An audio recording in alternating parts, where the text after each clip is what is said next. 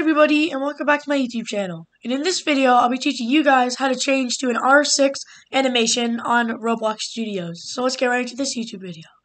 So basically, an R6 animation is like, if you played any obby that's like, you know, like a difficulty obby or something, that kind of like animation kind of thing, like for your character, how that like animation is. So first you're going to want to load up uh, Roblox Studios, which will come like downloaded with uh, Roblox you're going to want to like double tap on it to open it.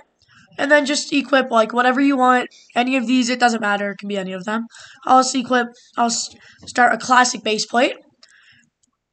Then you're going to want to just like, like you're going to, uh, like if you hit play. So first thing is if you hit play, then this is what an R R15 looks like. This is like horrible for obbies. Because let's say you're trying to do a wrap round or something, this doesn't work because your hands are like way in the way. It just doesn't work.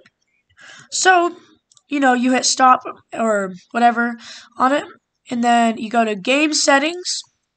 You hit publish. You have to publish your game first and call it whatever. So yeah, I mean, I don't. I'm not gonna call it anything, but like you can or test. You hit create. You can put a description if you want, all that stuff you go to game settings. Again, you click on game settings again. You go to here. There's permissions, which you can turn it to public and friends. Uh, monetization, which you got some badges, paid access, private servers. Paid access means like that they have to pay to go into like to get into this like your game. Private servers are just um, like enabling private servers in your game security allow HTTP requests that enable studio access to API servers. Just you should just always do that. It it just like it helps with a lot of uh, animations on Roblox and stuff. You have to have these two enabled, so just enable them at all times. It would just help too.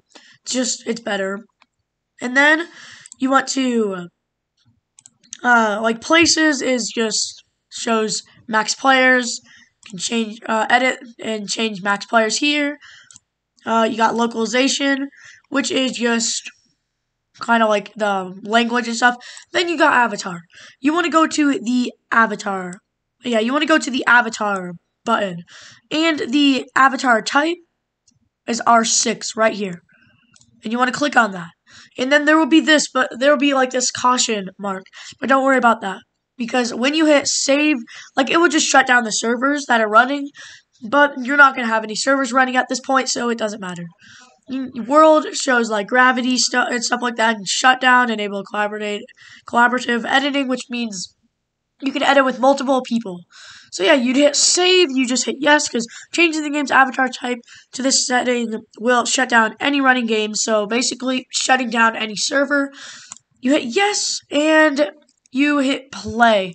And you'll notice that because of changing it to R6T or R R uh, R6, now it's a normal like a normal avatar like this, like a normal animation that's like easy. Like when you're doing parkour, it's easy.